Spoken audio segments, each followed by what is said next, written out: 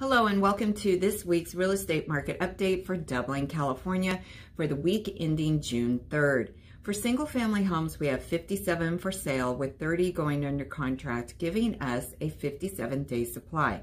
Now we do have four homes that are going to be coming to the market with an average list value of 1.7 million.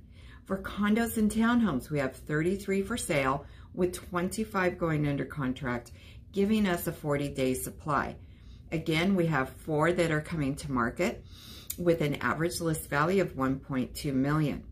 Now, looking at condos and townhomes in Dublin versus the inventory level in Pleasanton and Livermore, Dublin is running heavier on the inventory. So buyers, you have a lot of choices and you are having a little bit more leverage in on your side of the court. Now, when I look at the overall inventory of properties for sale and how many are going under contract um, with Pleasanton, Dublin, and Livermore, on average, we have a 50-day supply.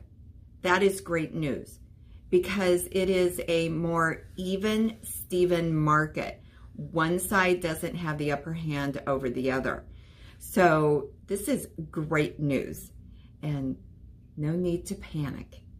If you have any questions, do reach out to me.